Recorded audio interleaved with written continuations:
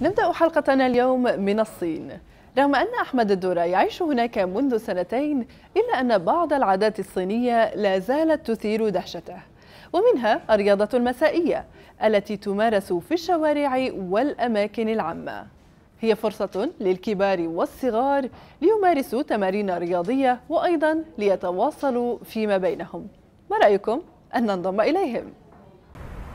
أعزائي المشاهدين أسعد الله أوقاتكم بكل خير. كثير منا لا يمارس الرياضة إما بسبب الكسل أو بسبب عدم الوعي بفوائدها. بالنسبة للشعب الصيني الوضع مختلف تماما. فهم يعتبرون الرياضة جزءا من أساسيات الحياة وليس من كمالياتها. عبر هذه الدقائق القادمة وفي هذا التقرير سنتابع وإياكم بعضا من نشاطاتهم التي يقومون بها يوميا في مدينة كوانزو الصينية.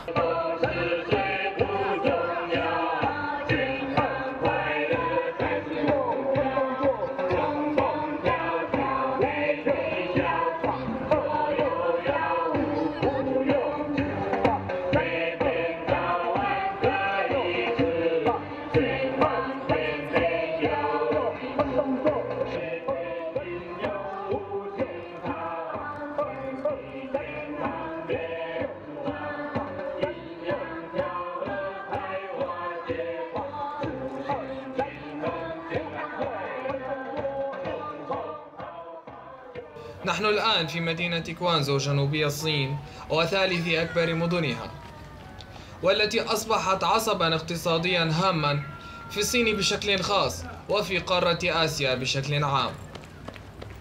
يبلغ عدد سكان هذه المدينة حوالي الأربع عشر مليون نسمة.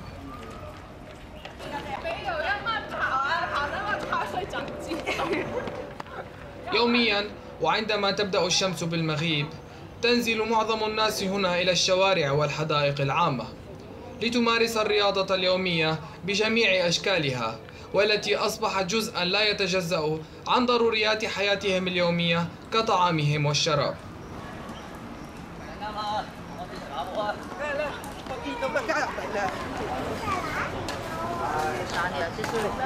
وحسب منظمة الصحة العالمية فإن الخمول يحتل المرتبة الرابعة ضمن الأسباب المؤدية للوفيات على الصعيد العالمي وهو سبب رئيسي لأمراض الضغط والسكري وأمراض القلب والسرطان وغيرها من الأمراض الخطيرة. وتعد الرياضة حلا للتخلص من أعراض الاكتئاب حيث أن الرياضة والنشاط البدني يساعد على إفراز المواد الكيميائية في الدماغ والتي تخفف من أعراض الاكتئاب.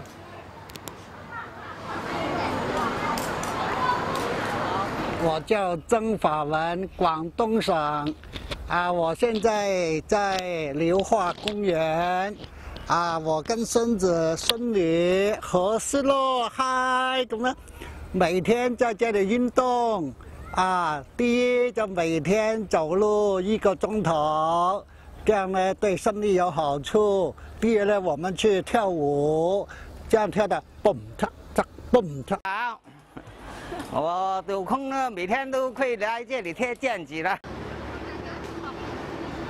وتختلف أشكال التمارين الرياضية اليومية التي يمارسها الصينيون فمنهم من يمشي مسافات طويلة أو يركض في الحدائق العامة أو عن طريق الرقص مع التمارين الرياضية ورياضات أخرى متنوعة كالمضرب واليوغا وغيرها يجتمعون كل يوم بكل شرائح المجتمع لا يختلف غنيهم عن فقيرهم أو شابهم عن عجوزهم.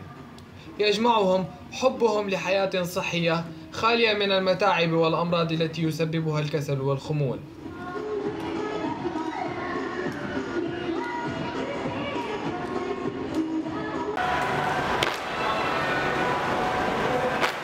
أخيرا أنصح بعدم إهمال هذا الموضوع وعدم أخذ الكسل والانشغال بأعباء الحياة اليومية. ذريعة لترك الرياضة. فمن منا لا يمكنه أن يمارس بعض التمارين الرياضية حتى ولو لبضع دقائق في المنزل. فهي ستكون كدرع تقيك من شر الأمراض المزمنة بإذن الله. كان معكم أحمد الدرة محدثكم من الصين الشعبية لبرنامج أنا الشاهد.